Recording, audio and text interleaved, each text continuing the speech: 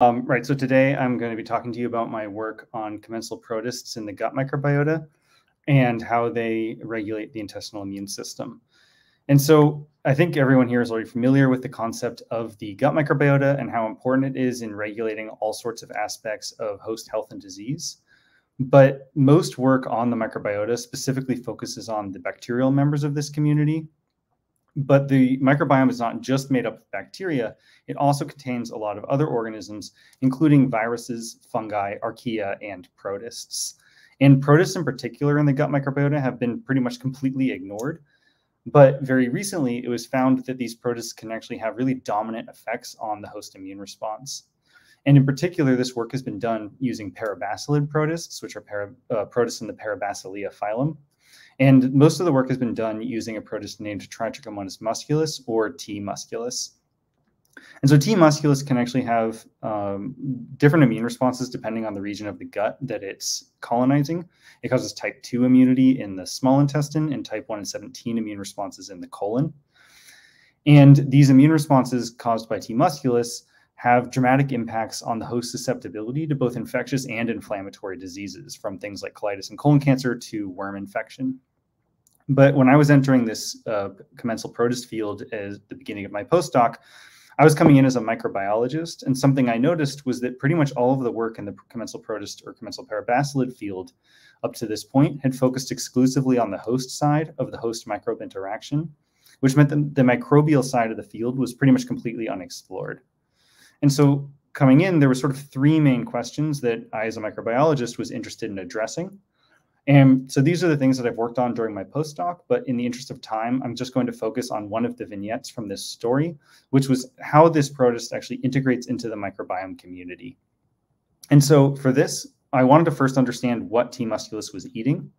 And my initial hypothesis was that the protist would be eating dietary fiber because fiber is one of the most abundant uh, carbon sources for members of the microbiome community.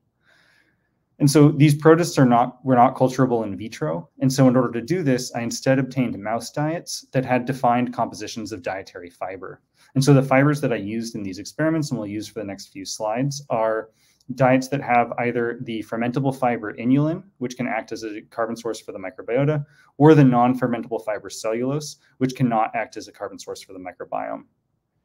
And so when I fed the mice a complex chow, which is just normal mouse house chow that you can find in the mouse facility, which has lots of different fibers, including inulin and cellulose, or a diet with inulin and cellulose, or just inulin alone, protist abundance was unaffected. The protists colonized mice just fine. But then when I starved the mice of fiber completely, or when I take away just fermentable fiber and give the mice only the non fermentable fiber cellulose, protist abundance was dramatically reduced indicating that T. musculus does use fermentable fiber as a carbon source. However, I also noticed that protist abundance didn't seem 100% depleted in the cellulose fed mice, indicating that there may be alternative substrates that the protists can grow on during a uh, situation of fiber limitation. In order to understand what might be happening in that scenario, I obtained an or I, I, had an antibody developed against T. musculus so that I could look at the protists in situ. And so that's what we're looking at here, which is a colonic section of a T. musculus colonized mouse, where you can see the T. musculus cells in cyan. It's sort of distributed evenly throughout the lumen of the intestine, which is what we would expect for a fiber eating uh, organism because the fiber is in the lumen of the intestine. However, when I then put, checked the colon sections of mice fed the cellulose diet, so they're starved of fermentable fiber, we can actually see that there are a few T. musculus cells that survive fiber de deprivation. And all of those cells are very tightly co-localized to the mucus layer, suggesting that T. musculus may survive fiber deprivation by eating mucus glycans. However, in order to actually uh, sort of prove that T. musculus can grow on mucus glycans and eat that as a carbon source. It wasn't lost on me that the best way to do that would be to be able to culture the protist in vitro and grow it with mucus in in vitro culture. But as I mentioned, these protists weren't culturable. But this is something that I've been working on throughout the entirety of my postdoc. And actually, my postdoctoral advisor had been working on this during his postdoc as well. So there was a combined about eight years of work going into trying to culture these protists just in our lab. And around this time, I actually made a breakthrough in terms of figuring out how to culture T. musculus in azenic in vitro culture and was now able to culture it uh, for very long term. I've now been able to grow it for six months continuously. And so this has opened up a lot of potential applications for mechanistic studies on these protists, which is really exciting. But then the first application I wanted to do was to figure out whether the protist can actually eat mucus.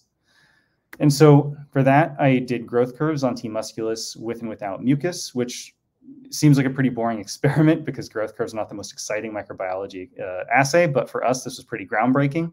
And um, this showed that T. musculus is in fact able to grow on mucus when that's provided as the sole defined carbohydrate or uh, carbon source. But this result was also a little surprising because the protists grew a little too well in vitro when we gave them mucus. Because remember, they the, the protists barely hang on by a thread in vivo, but here they seem to be growing just as well as the positive control. And so my hypothesis for what causes that discrepancy was that competition with uh, with mucolytic bacteria was preventing the protists for, to grow efficiently in vivo. And so to test that hypothesis, I repeated my uh, so my my fiber starvation experiments, but this time added a condition in which I fed the mice vancomycin, neomycin, and ampicillin, so an antibiotic cocktail, to knock out the bacterial component of the microbiota.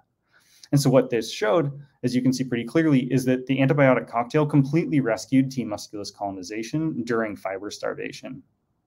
So then, in order to figure out whether global depletion of bacteria is required or if specific groups of bacteria are outcompeting the protist, I parsed apart the antibiotics in my cocktail, which actually showed that vancomycin and neomycin were completely dispensable for rescuing T. musculus colonization, and ampicillin alone was 100% sufficient. And excitingly, T. musculus on the ampicillin treated mice was tightly co-localized to the mucus layer, which is consistent with ampicillin sort of alleviating competitive pressure for that mucus niche. In order to then try to identify the bacteria that were outcompeting T. musculus for mucus, I then did 16S on those mice. And I'd like to just draw your attention to two of the different bacterial groups in this 16S data which are the Bacteroidales, which are known generalists that can eat both fiber and mucus, and Akkermansia, which contains Akkermansia muciniphila, which is a known mucus eater. And as you can see, the Bacteroidales or and or Akkermansia are extremely abundant in each of the conditions in which T. musculus is depleted, and are below the limit of detection only in the condition in which T. musculus is rescued with ampicillin treatment. So this highly suggests that Bacteroidales and or Akkermansia compete, outcompete T. musculus for the mucus niche during fiber starvation. So I now wanted to then characterize the fiber eating ability of T. musculus. And for this, I decided to look at inulin because inulin specifically rescued T. musculus uh, colonization during, uh, during the in vivo setting. And so I used my new in vitro culture capability to test whether or not this protist could eat inulin. And I was really surprised to actually see that the protist would not grow on inulin in in vitro culture. And so this was a really confusing result until I actually looked at the uh, protist localization in vivo again, which showed that on the inulin diet, the protists are actually not in the lumen of the intestine where we would expect them to be if they were eating the fiber. Instead, they were tightly co-localized to the mucus layer reminiscent of the protists in the fiber-starved mice. So this suggests that inulin is actually just allowing the protists to access the mucus niche. And so my model for how this is happening goes back to the Bacteroidales and transkingdom interactions with bacteria. Because as I mentioned, Bacteroidales are known generalists that can eat fiber and mucus. But what I didn't mention is that Bacteroidales have been shown to preferentially eat fiber over mucus. And so my model for what's occurring is that the Bacteroidales and T. musculus coexist when the mice are fed a complex diet, uh, a diet with complex fibers because they eat different fibers. But then when we take away all fiber except for inulin, the Bacteroidales are perfectly happy eating inulin, which frees up T, the mucus niche for T. musculus to occupy it. But then when I take away inulin as well, the Bacteroidales also switch to eating mucus and outcompete the protist. And so this is something that I am, th this model is something that I'm working on proving now and is something I'm planning to do in my own lab. Um, but so far we have not been able to uh, prove it yet. And um, there's also a lot of other work that uh, went into this story and that is uh, going to be used to build off into my uh, into a lot of other different projects. Um, as I mentioned, this was just one vignette from the story, but if you're interested in learning more, um, I also discovered a new species of commensal protist and uh, found other transkingdom interactions and then characterized how the protist diversity and transkingdom interactions in diet affect protist-induced immunity. And this work was just uh, published online in Cell last week if you're interested in learning more. And so I'd just like to quickly thank everyone that's been involved in this project, especially my advisor, Mike Howitt, and um, my collaborators both in the Howitt Lab and uh, at Stanford in the Bot Lab and Sonnenberg Labs.